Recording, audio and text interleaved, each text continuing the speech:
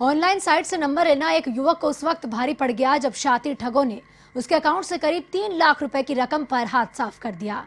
ये मामला अजमेर के क्लॉक टावर थाना इलाके का है, जहाँ पीड़ित नरेंद्र कुमार ने ऑनलाइन साइट से मिले नंबरों पर बात की। इस दौरान नरेंद्र के अकाउंट से पैसे कटने शुरू हो गए। उसी दरमियान बैंक के नाम से उसके पास फ़ोन आया और उन्होंने रुपए वापस दिलवाने का झांसा देकर क्रेडिट कार्ड का ओटीपी नंबर तक ले लिए। कुछ देर बाद ही नरेंद्र के अकाउंट से दो लाख निन्यानवे हज़ार रुपए अलग अलग टुकड़ों से निकल गए। मामले को लेकर पीड़ित नरेंद्र ने क्लॉक टावर थाने में ये मामला भी दर्ज करवाया और फ़िलहाल पुलिस अब पूरे मामले की जाँच कर रही है। गूगल से एक नंबर सर्च किया।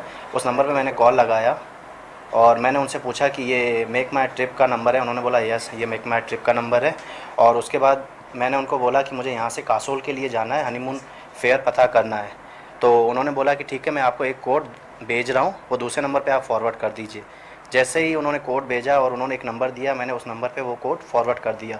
जैसे ही मैंने फॉरवर्ड किया, मेरे पैसे कटने चालू हो गए।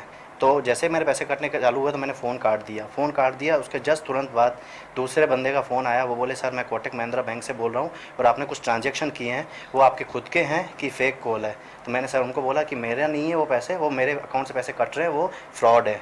उन्होंने मेरे से कुछ ओटीपी मांगे और मेरा ऑनलाइन नेट बैंकिंग का पासवर्ड मांगा। और मेरे डेबिट कार्ड के चार अंक मांगे और उसकी एक्सपायरी डेट मांगी। जैसे ही मैंने उनको दी, उन्होंने बोला, सर, डोंट वरी, हो जाएँगे कल तक। और उसके बाद उन्होंने कहा कि मुझे फ़ोन स्विच ऑफ़ करके रखने के लिए।